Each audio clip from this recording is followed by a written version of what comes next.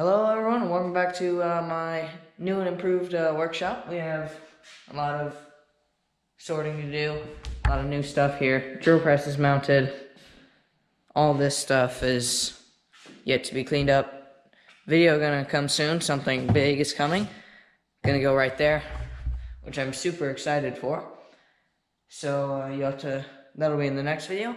And in this video, we're gonna be making a hammer cart for all of that.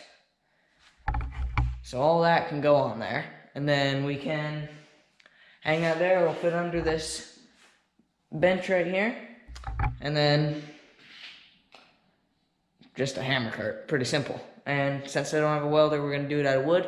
So, um, I guess let's just get to it. So right now I'm going to have to think about how tall this has got to be. It's to be on wheels. I don't have that yet. Uh, okay, that's like 35.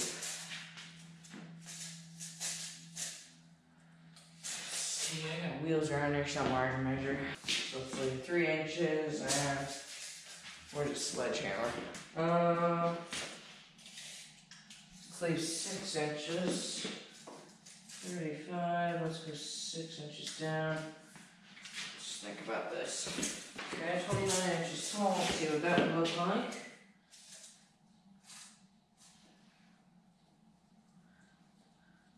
I I'm gonna bump it down to like 27 to have more room.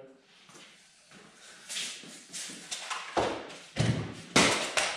probably just broke my tape measure. Okay.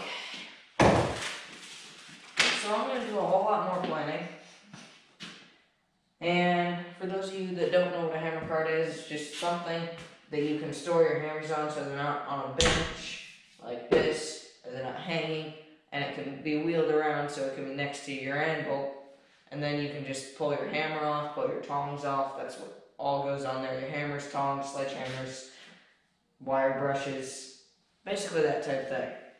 So I'm going to do a whole lot more planning than this and figure out what, how big I want it, and then I'll go ahead and start building it. Okay, I've spent plenty of time fooling around with this design.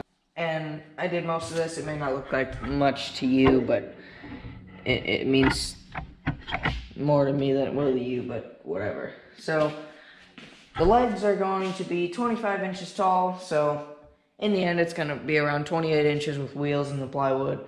Something around that. I'm not going for perfection here. I'll have a table right up from the wheels. Two foot by three foot.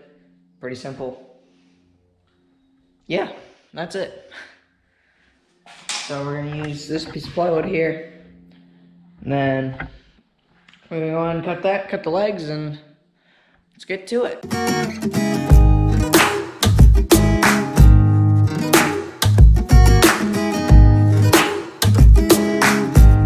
Okay, so I got this uh the top part done. What? No. Bro. I didn't cut that. It fits. Oh, yeah. I thought you did when I was looking. No, I, di- I didn't cut that. That's how it ended. Mm-hmm. That was from all those cuts. What? That's cool.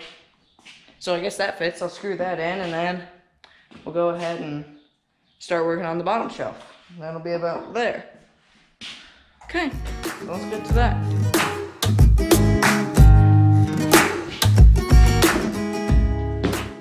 I think it's sturdy. So we got this cross member built in there. And then now just gonna add the bottom shelf and uh, get some wheels and we'll be done.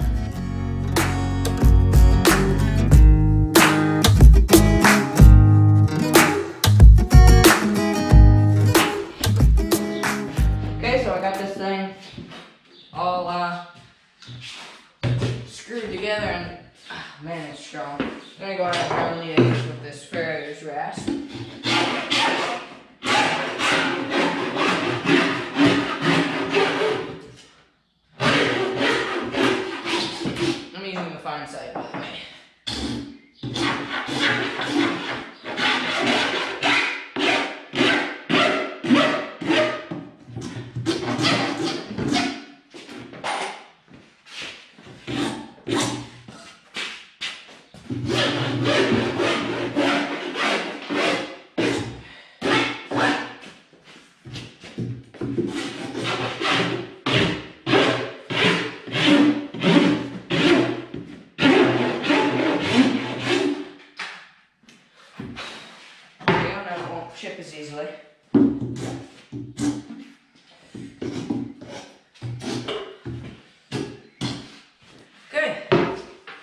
So, I uh, just gotta get some wheels, throw them on this. I'm gonna go ahead and drill some holes for the handles now. So I guess let's uh, start drilling some holes.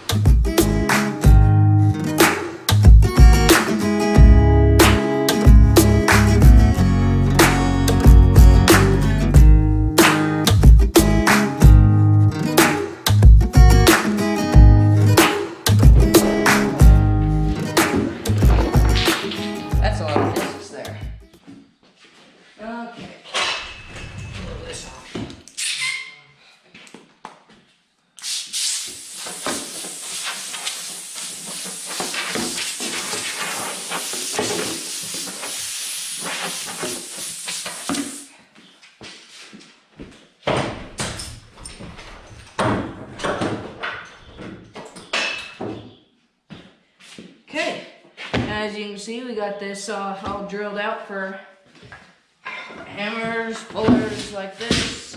Whoa. Yep. Awesome. Okay, so we'll go ahead and load this up.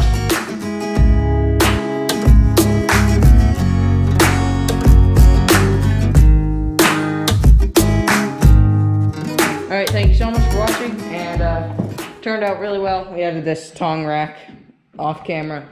Battery almost ran dead, so fully loaded now. Just got to put some wheels on it.